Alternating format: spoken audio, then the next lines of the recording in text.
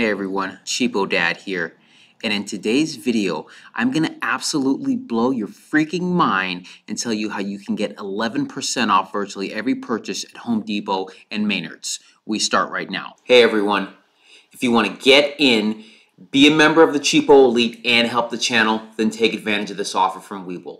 Right now, they're gonna give you up to 12 free stocks when you open an account and fund it with any amount even down to one penny. It does not get any easier than that. Talk about not leaving money on the table. Let's get back to it. Before the marks and the keyboard warriors start going crazy out there, a couple of caveats. The 11% is back in the form of a gift card at Home Depot or Menards. We don't have them out here. I don't know if it's Maynard's or Menards, so if I'm pronouncing it wrong, I apologize. And this is not all year round it is certain times throughout the year. I found that out in my research because originally it was presented to me that you could do it at any time, but that is not the case. But it is available several times throughout the year, including at the time of posting this video. Whether you're a homeowner or not, there is a pretty good chance you're gonna have to do some kind of home improvement project, even if it's fixing the handle on your toilet bowl. So there's a good chance that you're gonna need to shop at a place like Home Depot or Menards. I'm gonna show you Menards first. They're a little bit more old school. So this is their website, and you see it's at the top, the front page of the website. They don't always advertise this though, and Home Depot doesn't advertise at all. So right now this is going on through the 16th of October, but again, they do this multiple times throughout the year. With Maynard's, they have you fill out this paper rebate and mail it in. If you're like me and that's not your favorite thing in the world to do, they do have a form here. I'll leave a link in the description. They do have a rebate page. You can go here to complete rebate form fill in your information, and then print. And yes, you still have to print it. And as you can see here, it says printed screenshots of this page is not considered a valid rebate form and won't be accepted. So you still do have to print it out and mail it in.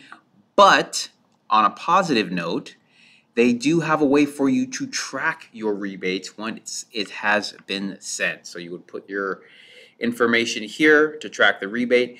Uh, it does take approximately six to eight weeks uh, for you to get those gift cards back in the mail, but still, that's money in your pocket that you wouldn't have otherwise had. Now, for Home Depot, they are in the 21st century, so it's a little bit of an easier, more streamlined process. You have to go to the website Home Depot Rebates 11%.com with the number 11 not written out with letters there. I'll leave a link in the description for that. As you can see here, you've got these dates here, the most recent one, August 29th to September 25th. And then look, it starts the day after, September 26th through October 16th. So this is updated frequently. It is not literally every day, but it is a good portion of the year. And again, they do not advertise this.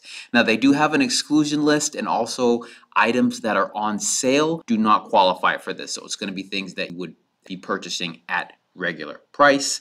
But all you do, enter in your purchase date. And again, that purchase date does need to be within the last 30 days.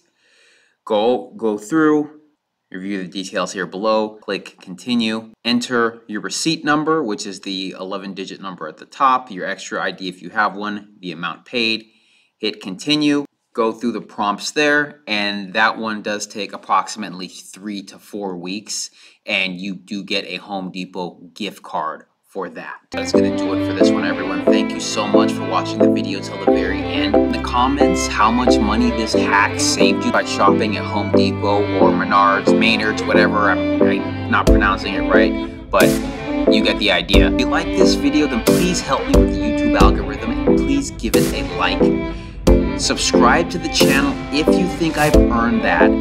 Share the video with someone who might find it useful. And as always, do not forget, don't leave money on the table. I'll see you next time.